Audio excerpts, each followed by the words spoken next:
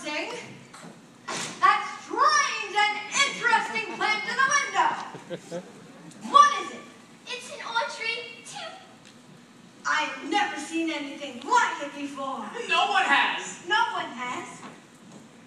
Well, then, where did you get it? Oh, well, do you remember that total eclipse of the sun a couple of weeks ago? I was walking in a wholesale block shop the other day. By this place where this old Chinese man, chain, daddy, he sometimes sells me weird and exotic cuttings. sick, daddy, Cause he knows, you see, straight splits are my hobby. He didn't have anything unusual there that day, No, daddy, and I was about to, you know, walk on by, good for you. when suddenly, and without warning,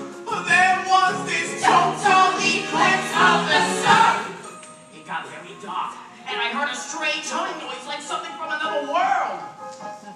And when the light came back, this weird planet was just sitting there, oopsie doo, just stuck in, you know, among the zinnias.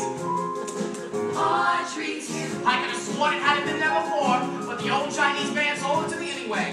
For a dollar ninety-five.